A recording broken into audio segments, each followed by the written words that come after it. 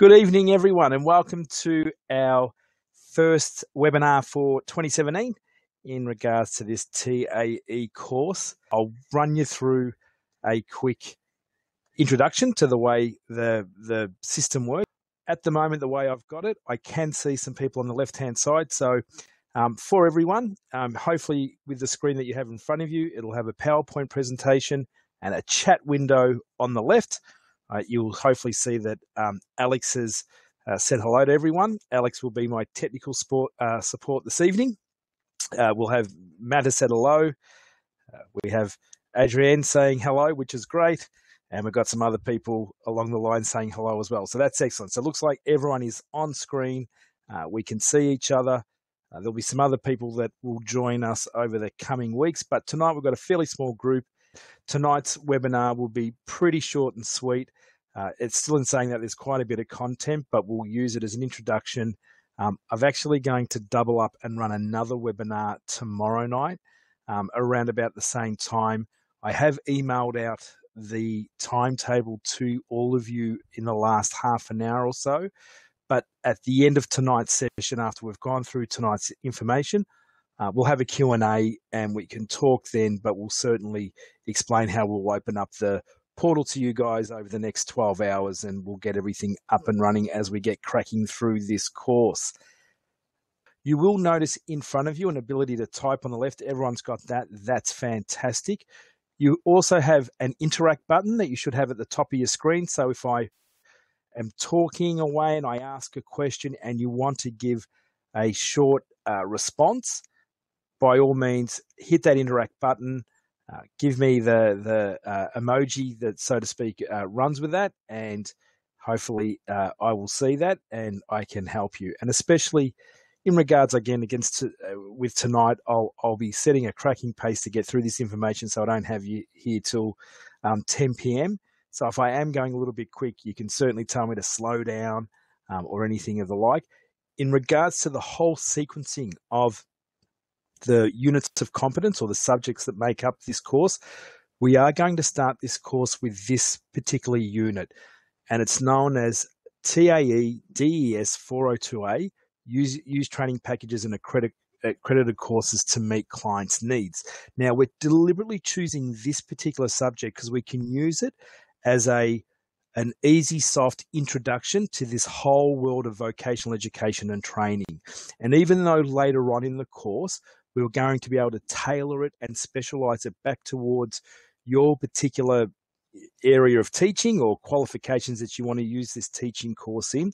For this first month or so of this course, we're going to get all the sort of, I guess, not heavy, but more generic um, industry based, as in TAE based um, information out of the way. So that way uh, we kind of get the harder work done um, and then the rest of the course will ease out. So please understand that we're going to deal with some of the hard stuff early on, and then the course will have a, a lot uh, softer ending to it, which will be beneficial for everyone.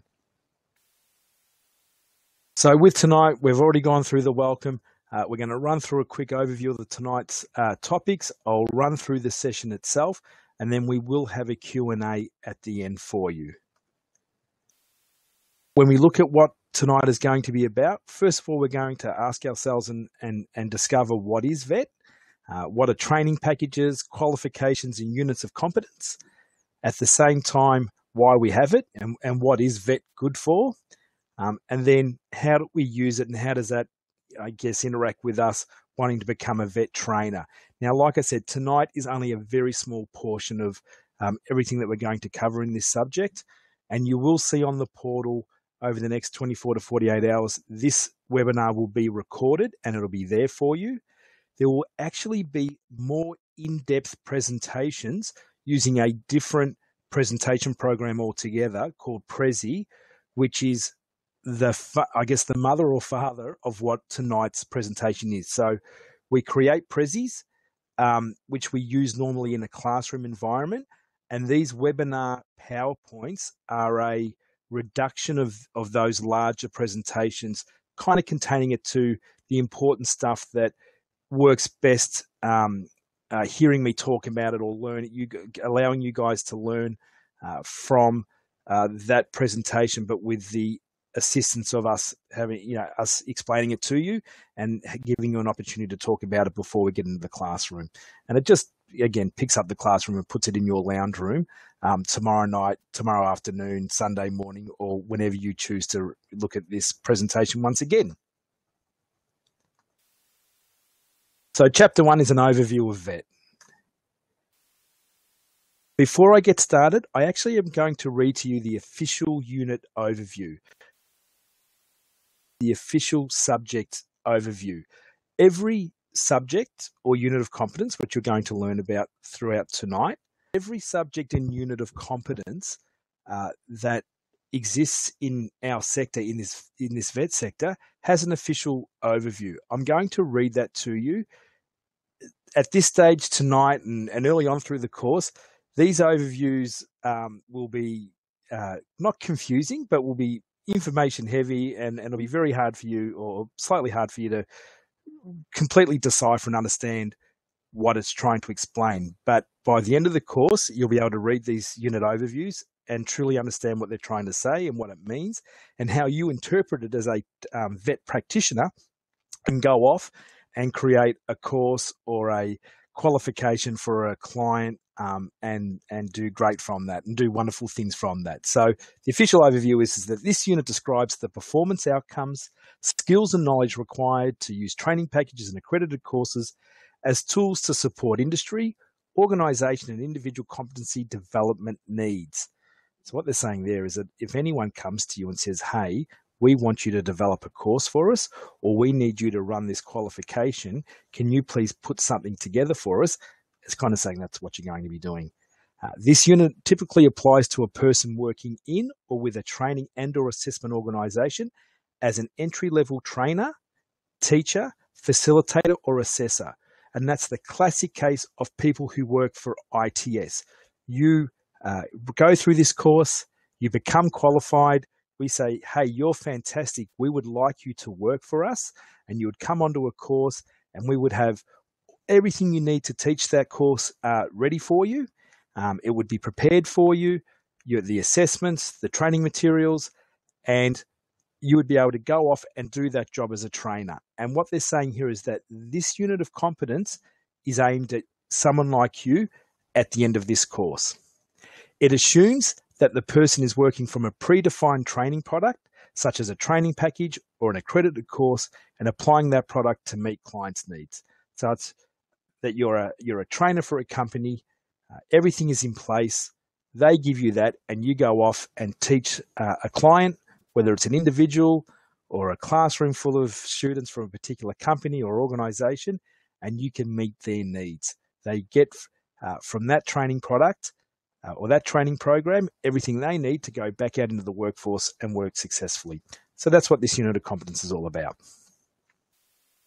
So tonight won't have much to do with driver training or customer service or any other particular industry that you guys want to end up teaching in, um, except for really the teaching industry, which is kind of funny because, and it's one of those things that you'll wrestle with all the way through this course, is that you are learning information and material as a teacher or as a trainer, despite the fact that you're a teacher or becoming a teacher. And that sometimes uh, can create um, some difficulties. Uh, it can bend your brain in funny ways because you're taking on the information as a student, but you're trying to put it back in its place as a trainer, which is what you're going to be at the end of the course. So in Australia, we have categories for different industries, and each of these industries require suitably qualified people Uh, to fulfill all the different work roles and requirements to keep that industry rolling along. And VET is awesome at that. Vocational education and training is really good at that. VET achieves that goal by categorizing and organizing qualifications into their industry groups. So these groups have their own training packages. So each industry is organized into its groups, and each industry has their own training package. And within that training package lives all those qualifications. So a training package is a document or a place where all the different, different qualifications that serve different industries live. For instance, all the qualifications that have anything to do with transport and logistics live in the TLI training package from train driving to sailing to becoming a driving instructor. All these qualifications and everything that makes up those qualifications live in and can be found in the TLI training package. The same could be said for the HLT training package.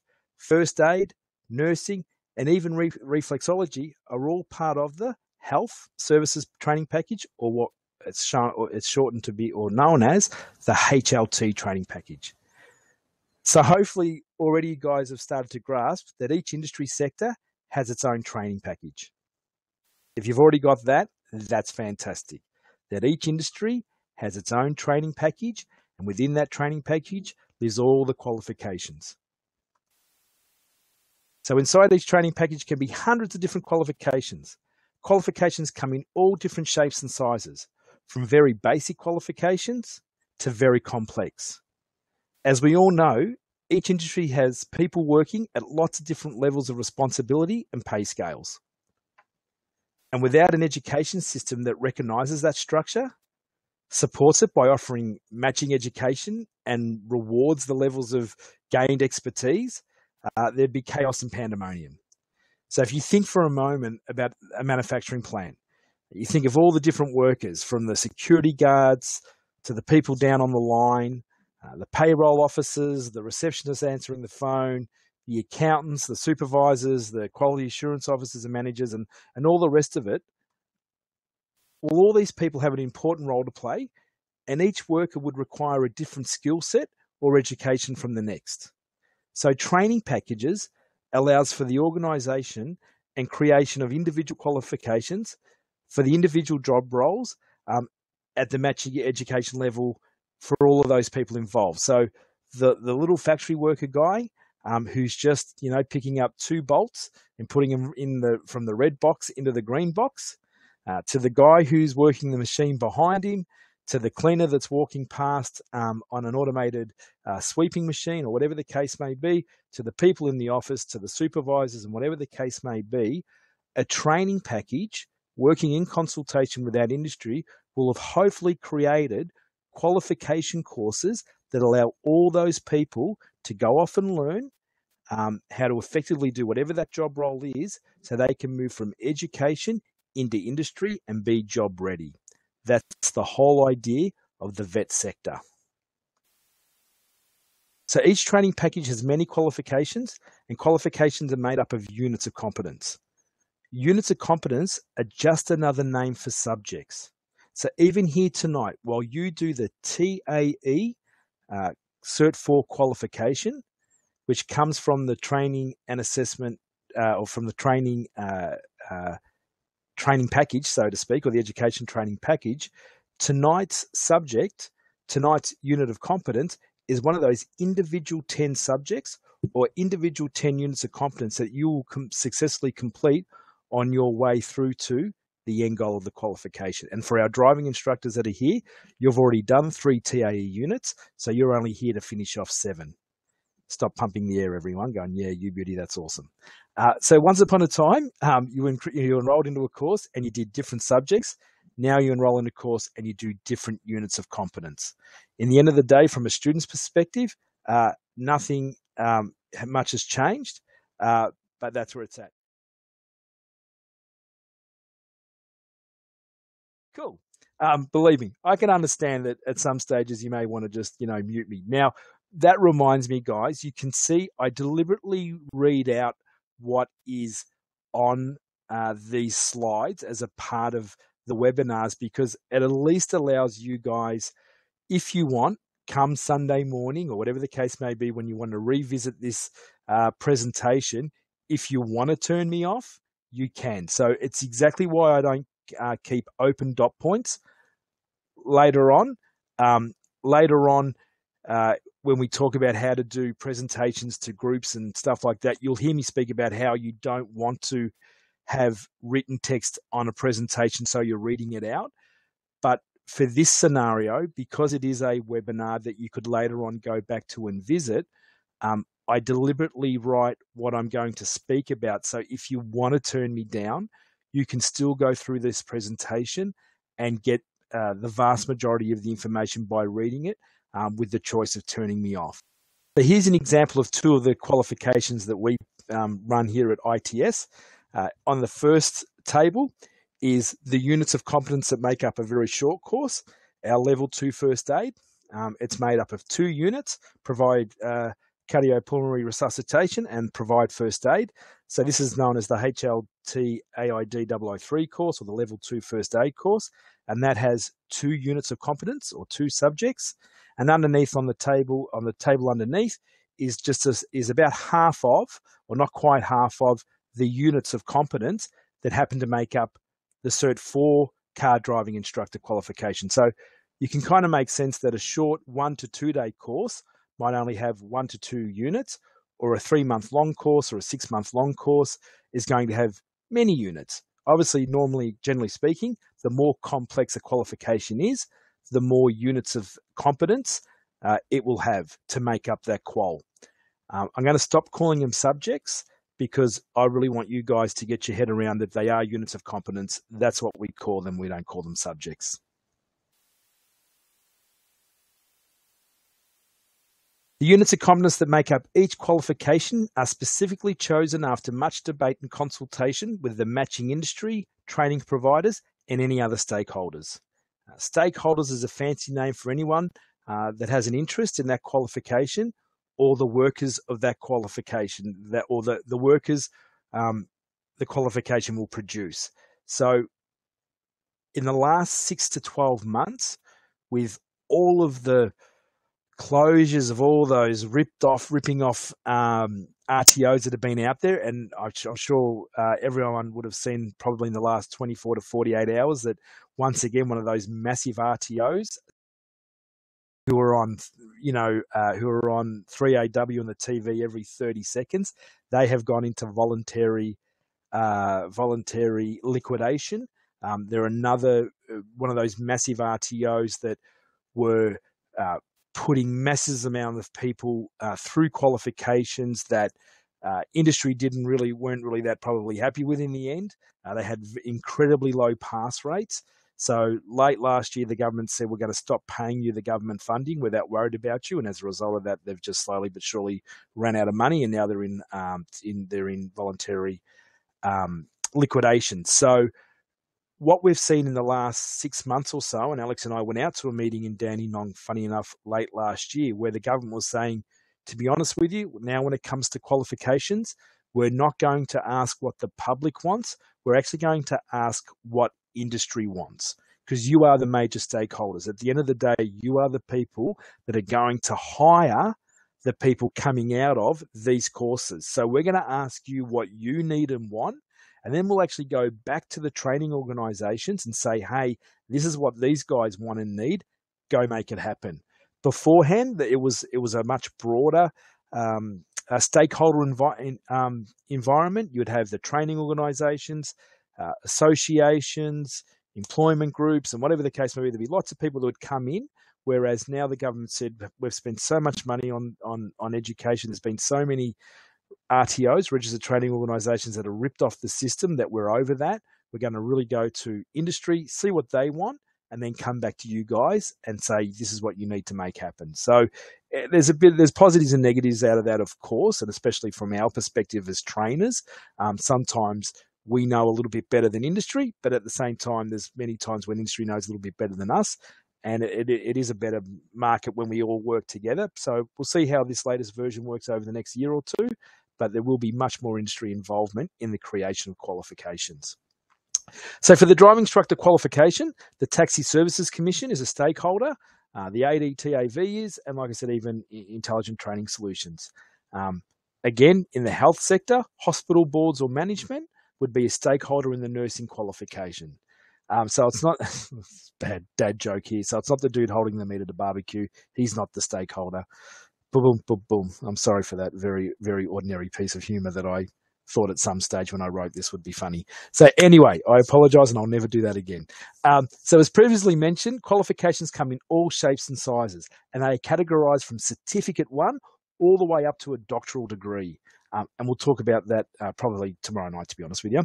So one thing, one thing that is common with Cert One to advanced diploma courses is that they're all made up of these units of competence. So in our world, in the vet sector, we mainly deal with courses that are between Certificate One up to Advanced Diploma, and those particular qualifications are made up of units of competence. Some qualifications are made up of core units with no electives. So once again, you're everyone who's who's in this forum who did the Cert 4 car driving instructor course, there was 11 units that you had to do, and there was no choices in it. Um, in previous versions of that qualification, uh, we used to be able to add more more units in there to make it a better, stronger qualification and and create better, stronger um, uh, driver trainers for industry. However, they changed the rules. They said, no, no, no, no.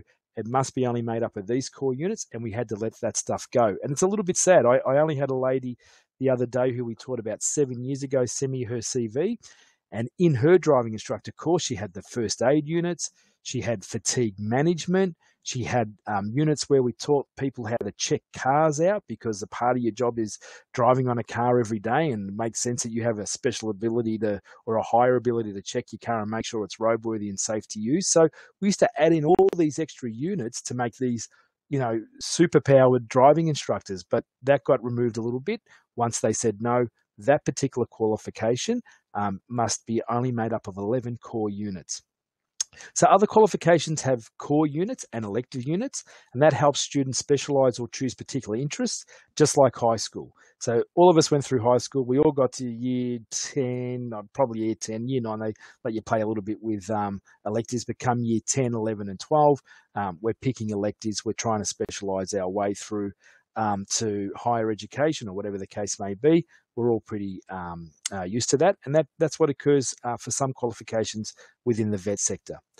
Other qualifications have a combination of uh, core units and elective units that are organized into streams. So these streams are created when a, when a qualification is core to several job roles within an industry or workplace. Um, the majority of the qualification will be core to a student's ability to work effectively within the workplace. However, there may be a slight but specialized learning required by different job roles within that workplace. And a classic case would be a transport organization. So some of these multi huge, you know, organizations like Linfox, they'd have all their workers going through, say, for instance, the Cert 3 in uh, transport and logistics. Uh, that'll be a core qualification that they want everyone to understand how the transport and logistics industry works. And then there'll be special arms for the guys who drive cranes, for the guys who drive over over dimension trucks. Uh, I know Linfox don't do concreting, but there's like a concrete truck stream. So quite often, um, these industries will have a core um, qualification, and then there'll be specialized arms. And of course, for a company like Linfox or um, Toll Transport, um, and even within the building sector and, and those areas, um, and even in the business services package, you think of all those people that would work in an office for a particular company, but they'd be all doing little individual specialized jobs. That uh, workplace probably wants everyone to have a core base of qualification that they all understand how to how to work in that workplace effectively to a point where then they have people branching off in their specialities. It just makes sense it obviously makes there you go. I'm even i'm i'm, I'm saying uh, logically what i'm going to end up reading. So it obviously makes sense that a workplace requiring people to have a baseline of consistent competence yet be able to specialize within a field to help that business function successfully is vitally important and is where vet vocational edu- education and training sector is most effective. It really is. Vet is when vet's done right um, and when it really is matching qualifications units of competence and courses to the needs of a workplace, it has significantly positive outcomes. It really is a great outcome. So qualifications, so so training packages, what are they good for and why do they exist? So in the end, we have these specialized training packages um, feeding out to these industries and supporting these industries with with workers that can uh, be uh, have a positive influence within that workplace. And this is probably the, the way we categorize th- those four main points. One, so qualifications can be awarded to a public that have participated in assessment of their competencies, and I'll explain that later. Two, to allow and encourage the development of training to meet the needs of individuals. Three, to encourage educational pathways within workplace settings and environments. So important. We just don't want someone to do a course at the start, um, start at the bottom of the heap and have no ability to match aspirations with an educational pathway. We definitely want someone who can start at the bottom and through um, educational pathways work their way right up to being the boss, so to speak. And that's that's again something that VET does very very well. And four, to allow industries access to individuals that are workforce ready, despite not previously employed in that job role or particular area. And again, for uh, for all the people uh, that are here uh, tonight that have been uh, that have done the driving instructor course, all of you would have had expertise and experience in other areas. However, you came through and studied the Cert for uh, driver trainer qualification, and you were able to move straight from that course into industry um, and be a successful um, driving instructor. So that, I guess, within itself, your own private pathway um, is itself a classic case of the benefit of vet. Uh, and I'm sure maybe Tristan that has uh, something uh, similar to to yourself, hopefully qualifications inside the training package. So, with these qualifications, um, there is a little bit of um, uh, flexibility, and I guess this is how we categorize it. So, RTOs are allowed to customize a qualification and their units of competence in order to meet their clients' needs. However, it cannot be a free for all, and the integrity of a qualification cannot be compromised as a result of customization. Um, there are endorsed parts, the bits that can't be changed, and there's non endorsed parts, which are the parts that can be modified. Now, in the Prezi presentation that this PowerPoint comes from, there's a whole extra section in there that explains endorsed parts and non endorsed parts a little bit better. So, come tomorrow night or, or Friday, whatever the case may be, um, even before Saturday, if you're going to attend Saturday's class, I'd recommend that you end up having a look at the Prezi presentation on the student portal, um, and that'll explain this little bit, um, this part here a little bit better. But what it's really just saying there is that at the end of the day, you're you're allowed to um, modify some qualifications within. fantastic, Tristan. Thanks, dude. Um, that's awesome. Um, the uh, yeah, the you're allowed to modify some qualifications, but you can never do it at the expense of what it's meant to be the the goal of the actual qualification. It can't compromise the quality of the individual that leaves that course, um, and it certainly can't um, undermine the assessment requirements or the level of expertise that will be required um, for those people to have successfully passed that course. So at the end of the day, they can move into industry effectively. So the non-endorsed parts include the training material, assessment material, and the student learner guides. Now that's really, really important because come tomorrow night when I explain to you about how a unit of competence is written and, and what it means, so you guys can start to look at it and transfer that information into your workplace as you leave us. The amazing thing about these units of competence, and especially um, the the uh, the parts of the assessment process that just can't be played with. The funny thing about VET is it says although we have these rigid uh, these rigid lines in place, when it actually comes to the material you're going to use to train your students and uh, some of the uh, the way you put together your assessments, um, that's up to you. That's actually the part we want you to create yourself. And the industry likes that because that's what allows us to all be a little bit different, allows us to tap into our own expertise, and allows us to uh, compete on a quality level that we say, hey, you come and do this course here with us because you know we believe we're the greatest, and then the next person will come along and say, well, we do this really well, and this is why we're the greatest, and you should study with us. So it is a great thing in a way that when it comes to the, the information being trained um, and the way the the assessments are created, there is flexibility in there. Any customization of an accredited course must be within the course rules. These rules set out the limits to customization um, of the course by identifying the units of competency which are essential to the completion of the qualification, possible sources of alternate units of competency which may be substituted or added without further endorsement, And remember, endorsement means that you can't change it, it's rigid. Uh, the type and number of units of competency which may be added or substituted without affecting the overall integrity of the qualification, and the extent to which units of competency may be modified without affecting the overall integrity of the course, units, or qualification. So, like I said, some of the some courses are made up of cores and electives. Uh, this TAE is like that itself. Uh, within this TAE, you guys are doing a a model that's very much uh, aimed towards a trainer who's going to be working with people. If you were doing a TAE course and you were clearly going to work, go and work um, in an online training company, then some of the units we're going to do out the back of this course, it would have been better if you did um, or we added online teaching components. But this particular stream, the, the way that we've modified this TAE for you guys is that we have added in the units that we could pick and choose from uh, that allows you to become the best trainer you can be training people face to face in groups.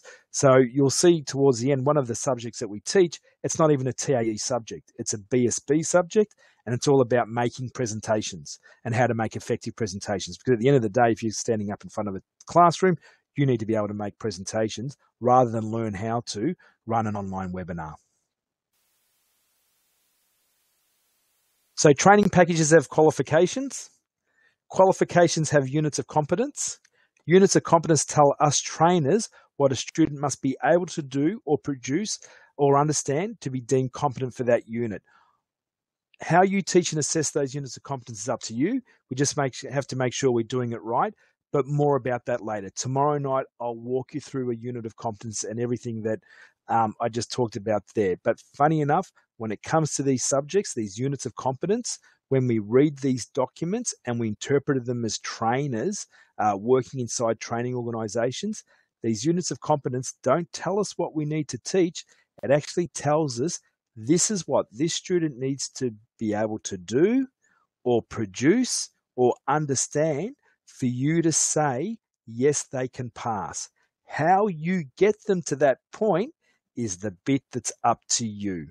And that'll be obviously some of the stuff that we're going to work on and develop over the coming weeks. The other area within um, training packages are accredited courses. Now, accredited courses are developed to meet training needs that are not addressed by existing training packages. A course will not be accredited if it duplicates existing endorsed training package qualifications or if the outcome can be achieved through the contextualization of a training package qualification. So, what does this all mean? So, beyond our Cert 3s and our Cert 4 uh, courses and our diplomas, there are these other courses that sit within the VET sector that are called accredited courses. Quite often, accredited courses are very industry specific. It'll be a, a particular industry that had a particular uh, need because it's a very specialized need and when they said uh, to the government and to the um, industry training uh, councils and, and focus groups that are um, that are companies or, or, organizations that exist to try to um, match the training needs of um, of industries to us training providers, they would have gone and spoken and consulted with these people and all the stakeholders, and they would have realized, hey, there's actually no qualification that exists for this particular job role or this specialization that we need. And when we look at all the thousands of thousands of units of competence out there, we actually don't think there's anything that we can gather in and make that happen. So they create these special one off accredited courses. Um, quite often, accredited courses are, are hard to find because sometimes in industry will pay lots of money for these accredited courses to be created and to have them accredited and then they protect them. They say, no, nah, this is not open to the public. We have spent a lot of money and a lot of time creating this. Only people that can train within our industry um, and our own people can train this qualification. And they use that in the end as a uh, money making exercise, one to get a return on their investment, investment um, and others will, um, yeah, and, and others will make it as as they see it as a long term as a huge money making uh, opportunity. And exactly like um, Alex has put to me uh, in the corner. McDonald's was a classic case that they created accredited courses just for their own people. Um, some say that McDonald's were very clever in getting accredited courses at the time because it was probably other courses that were very similar to um, the, the people that worked for McDonald's could have done and been adequately qualified. But um, obviously, they were really good at creating um, or convincing the government that they needed accredited courses. And then as a result of that, they were able to do that in house training. And quite often within the building industry and a lot of those specialized industries, they have these courses and they're in some ways they're they're really good um, money makers for the industry. Um, to be able to be a master builder or to be able to be this particular person, you need to go off and do this accredited course, and with that, um, you get your your extra accreditation. So there's a defined structure to accredited courses, and that includes a descriptor, and that's what the accredited course is all about. The the learning outcomes, uh, which is what a learner should be able to demonstrate as a result of, success, of successfully completing the accredited course. The assessment criteria itself, so what the minimum thing, uh, things or things or, or, or, thing, or so to speak, that um, a student should do in order to demonstrate that they've passed this accredited course. And then the context and resource implications for assessment and considerations required for successful assessments. That last statement again will make more sense to us in a week or three. Alrighty.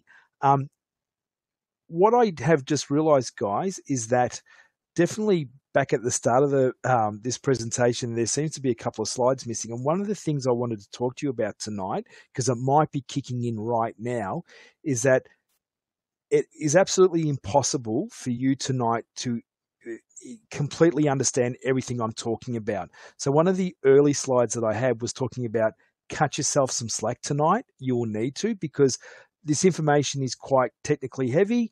Um, and I'm hoping, and it'll be great if you're all following this along and going, no, I'm actually keeping up and this is great. Um, that's wonderful and that's a bonus. But I did want to say to you at the start of the night that as I go through this stuff, cut yourself some slack.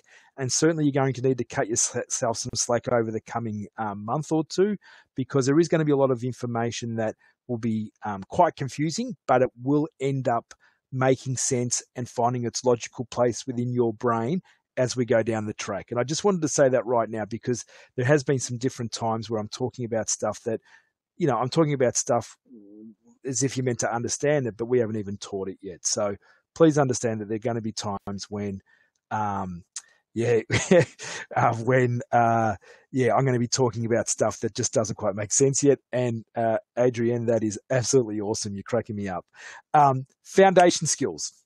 Foundation skills are the uh, underpinning communication skills required for participation in the workplace, uh, the community, and in adult education and training. Uh, language, literacy, and numeracy, or LLNN, is the traditional way of referring to the ability to speak, listen, read, and write in English, and to use mathematical concepts. Every learner in the vocational education and training um, sector is going to have to face LLN, LLNN skills challenges that are particular to the industry that they're training for. Um, we know that without adequate skills in these areas, individuals often struggle to demonstrate their competence, that they're actually good enough to pass this subject or they're good enough to move into industry, either during uh, the learning program or once in employment. So, the Department of Education and Training has just released a new foundation skills assessment tool. I actually plan to register ITS onto that during the week. Um, that happens to be the link for it. I won't t- click on that link, but you guys will be able to do that if you like, or copy and paste that link later on to, to have a look at it. So I'm actually going to um, register us for that, and then I'm going to um, invite you guys to have go through that because it's now become a thing where we all need to do an LLN test, so to speak, before or um, the first uh, four weeks of a course. So we make sure that if anyone here has any language literacy and numeracy um, issues, that we um, can adequately support you in that before we get too far down the course. Chapter two, um, how, when, and where. Um, I'm going to keep on pushing on. Um, if you guys need a break for a second or whatever, just let me know, and I can I can slow down a bit. So, chapter two, the how, when, and where. So, obviously, all these training packages, qualifications, units of competence, and accredited courses need a, a location of easy access. that, lucky enough for us, is a is a, is a website, and it's www.training.gov.au. Um, and it's the dedicated website for locating training packages and all their smaller components, all their units of competence, all their qualifications, and sometimes their accredited courses. And and sometimes you'll you'll you'll search an accredited course on training.gov and it'll be listed, but it'll say, hey, you don't get access, but at least you know it exists. Um, from this location, you can view, download, and research almost every qualification in Australia. There's also lots of handy information that you can use as a trainer that'll help you understand some of the things I speak about during this course that you'll be like, oh man, what did he really mean by that? You can actually go to training.gov and look up those words and it's going to explain it to you. I don't know how often I use training.gov and some of the other websites around that um, as when I first joined the industry, just to help me um, understand and remind me of what you know some of these words actually mean because vocational education and training has its own complete language without a doubt. So training packages and accredited courses have a limited life, have limited lifespans. Obviously, it's imperative that any training undertaken by people wanting to join or remain employed in a particular job or industry are provided with training um, that's relevant and current to do that job role um, and industry and within that industry. And that's so important. If you think about it, eh, obviously, you know, someone who became a mechanic 25 years ago, it would be terrible if an apprentice mechanic was doing that exact same course today. Obviously, qualifications need to grow and move with industry as technology and everything else improves. The qualifications got to be um, following that along. So, by having sunset clauses on training packages and accredited courses, industry, government departments, and, tra- and training providers are forced to communicate with one another and work collaboratively on keeping both the training packages and the accredited courses in line with what the public needs. At the end of the day, the public deserves to be able to enroll into a course that gets them ready for industry. And it's always been one of our pet peeves when it comes to this particular qualification that the thought that you did this course 100% online out of books with no teacher involvement just boggles my mind it boggles my mind. And some of the other training providers um, out there used to say we'd hire these people. They tell us they're TAE qualified. They've done the whole course. They've done it 100% online. And beyond the bit of standing up in front of a class and being able to teach something, they have no deeper understanding of anything else because no one was there to explain things to them. So um, without a doubt, that is why this is our last TAE 4010 course that we're running. And I didn't say the whole um, unit code there. Um, and it is going to, in the end, be replaced by a new one. Um, because, yeah, because the again, uh, the government didn't have problems with courses like this, but they did have la- huge problems with those 100% online courses where you don't see anyone, all you get given is a whole heap of books and you work by yourself. It's just impossible to get meaningful outcomes um, in that setup. So accredited courses usually have about a three-year lifespan unless an extension is granted. Training packages, due to their enormity, don't have a specific lifespan, but four to six um, year lifespan seems to be common with most areas. So again, I'll just reference the transport and logistics training package for a moment. Again, you're talking about in the, within the transport and logistics um, training package, you're talking about an area. It's Australia's largest um, employer of people. So the transport logistics industry is now Australia's largest industry. It's bigger than any other.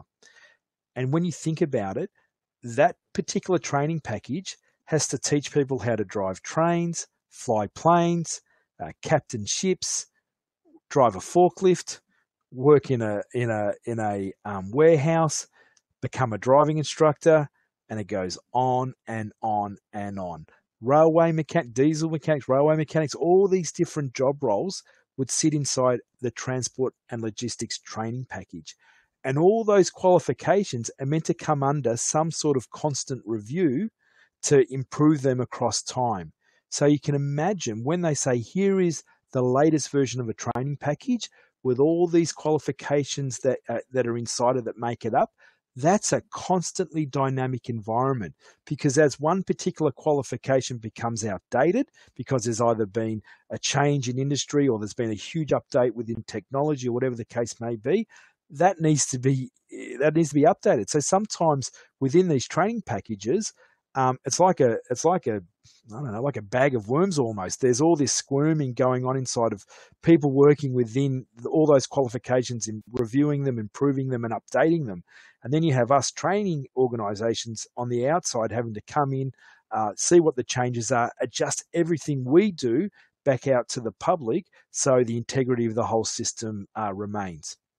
So generally speaking, there is about a, usually a 12 month handover from an existing training package to the introduction of a new one.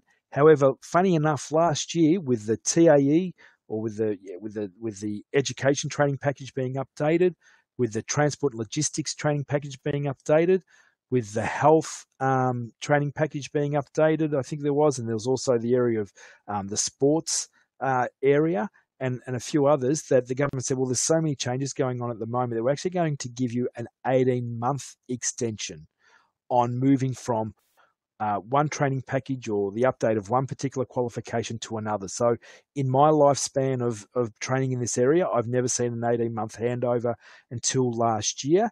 And I've got to be honest with you, I think some of those 18 month handovers might even be extended out further because I still see some grey areas with some of the qualifications and they haven't quite been uh, rectified. So it'll be interesting to see um, how that comes along and where that comes along. It is therefore imperative that as a trainer and assessor, you ensure that you are working with the current version of any training package, accredited course, qualification, or unit of competence. Um, I'll show you how to find that information um, during the next session. Um, however, at different times, you may be training a superseded unit. So you'll go into this website, training.gov, you'll look up a particular unit of competence and it'll say, hey, it's superseded, but it won't have reached its final teach out. So it'll be in that 12 to 18 month handover period. Um, and they'll say you can keep on enrolling students into, uh, up until this date. After that date, you can't enroll anyone else into the course.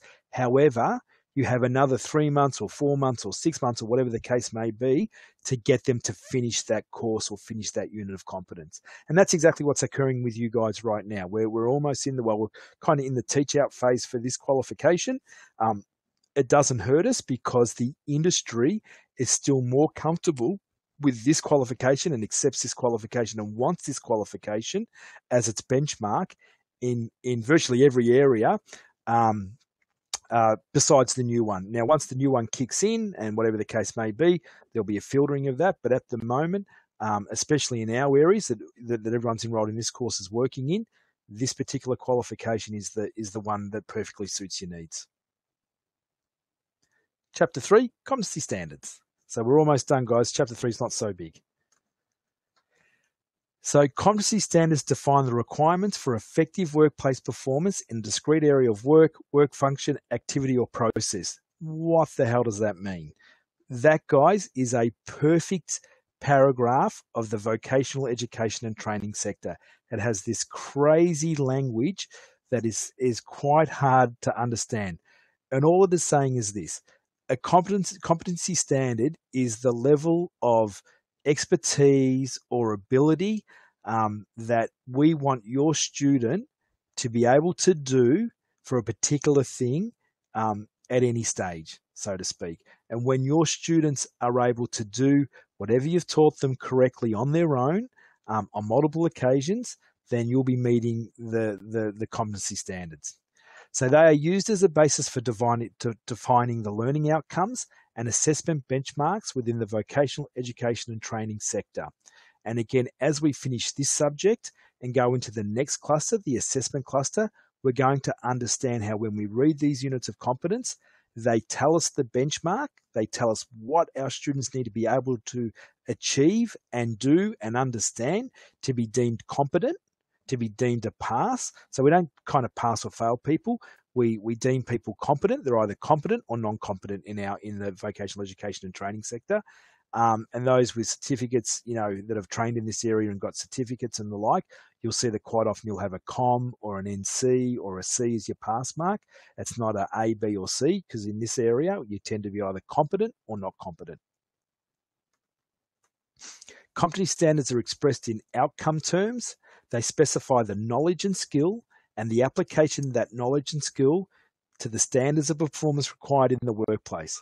So, again, in plain English, that's saying, hey, if you're going to teach someone how to use this machine, when they're using that machine, producing um, the correct things that that machine is meant to produce, this person is demonstrating competence. You've done the right thing.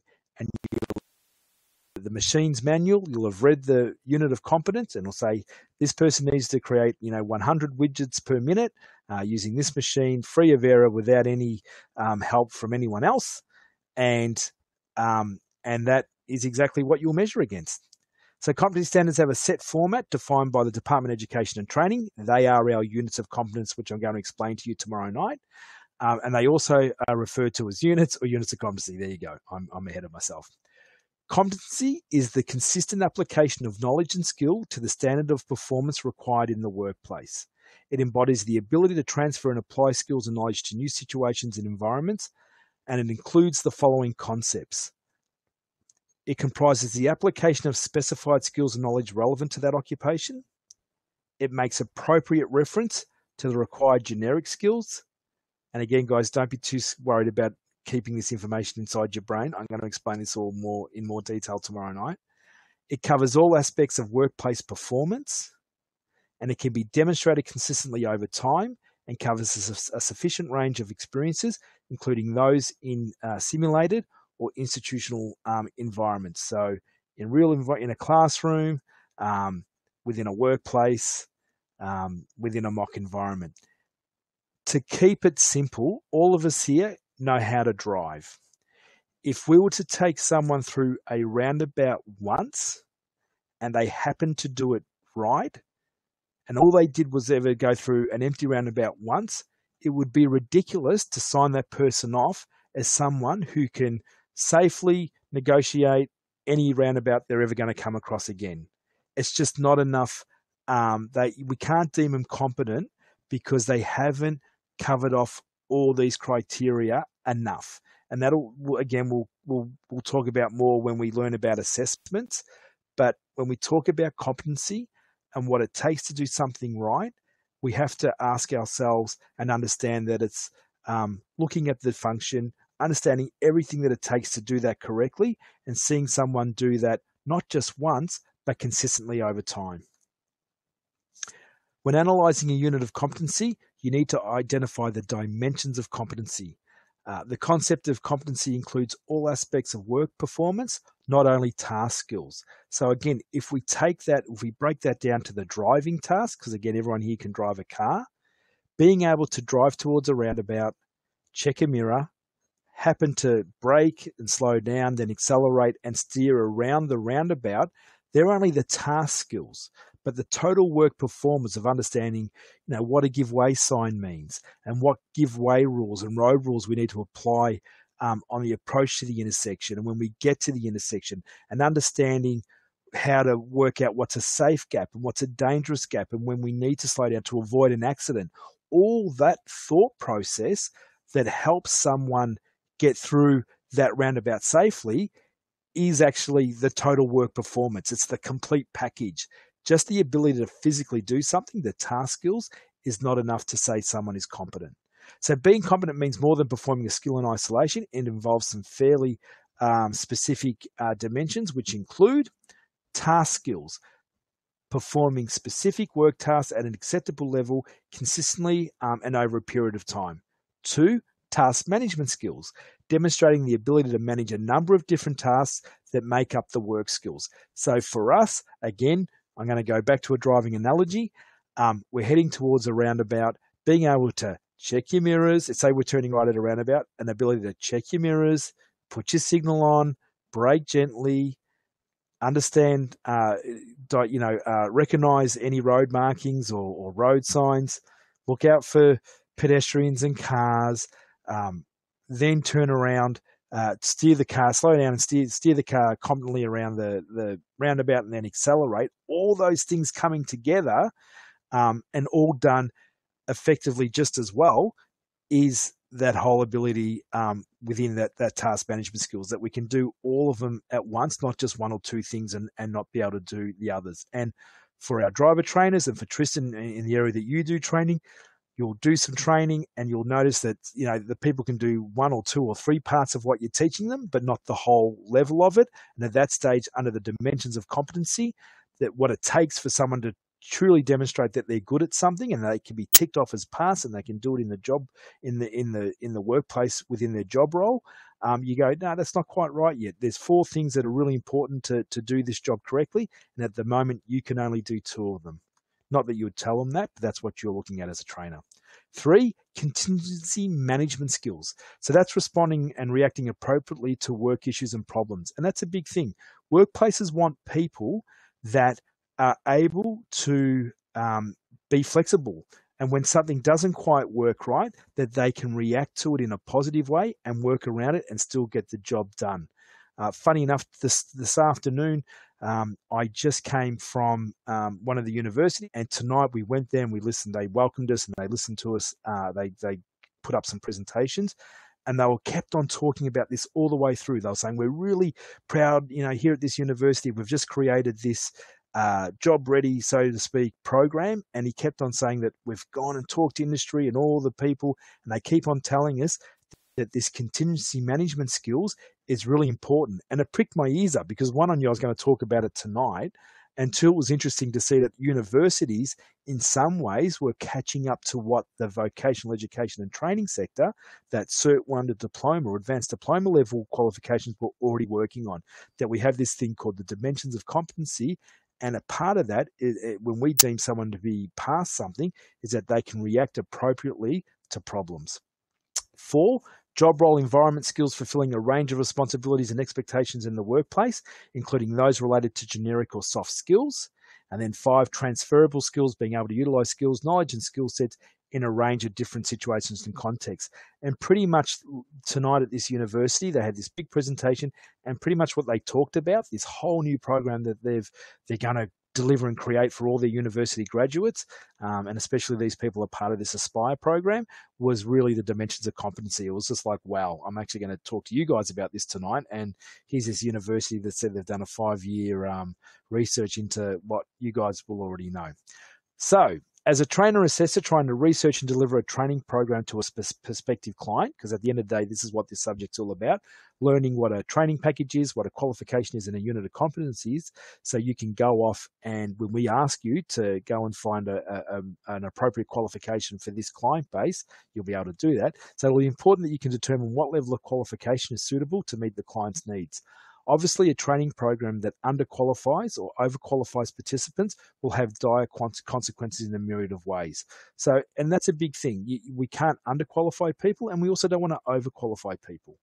Uh, Cert 1 through to Advanced Diploma are the usual qualification levels that TAE trainers like us will operate within. Um, we will look at the qualifi- um, qualification levels in more detail next time, um, probably tomorrow night, if not Saturday. Um, however, it's important to remember that the qualifications rise on a sliding scale. And while I'm here, it's also uh, important to understand that um, the Prezi presentation that this comes from has a complete rundown of this information. So, for example, Cert 1 is a very basic level and matches undertaking fairly simple tasks within their workplace. Uh, diploma and above would be the qualification usually assigned to managers, supervisors, and people who require complex thinking abilities as part of their everyday job. So, like I said, within a factory, someone um, working on the factory line might do a Cert 1. Um, and of course, the manager in the office, he's probably done a diploma or an advanced diploma, if not a higher education uh, qualification. So in this presentation, we've explored some of the basic information in relation to training packages, accredited courses and units of competence. Um, ensure that you follow up this presentation with any other, other uh, any of the other learning material that is found um, on the portal. And like I said, we'll open that up to you guys in the next 24 hours. And always feel free to contact us at any stage when required. Anyways, all right, guys, well done. I hope that helps. I hope I didn't go too fast for you. I tried to, I wanted to get that done in around about 60 minutes. So it looks like we've uh, come pretty close to that. Um, as I said, if you can go away tonight saying, you know what, I understand that industries have training packages, training packages have qualifications and accredited courses, and these qualifications are made up of units of competence. And these units of competence actually tell a trainer what a student needs to do to pass to be deemed competent, um, that'll be fantastic. You'll have absolutely positively um, gone beyond all expectation. Industries have training packages, training packages have qualifications, qualifications have units of competence, units of competence tell us trainers what students need to be able to do as a result of our training to be deemed competent, which means that they pass. You have that, you leave that, you've hit it out of the park, people. Thank you very, very much for listening tonight. We'll open up the mics, or you can type in a, a an answer, a question if you like. Otherwise, we'll bid you good night and we'll go, but we'll give you a few minutes to type away or ask something.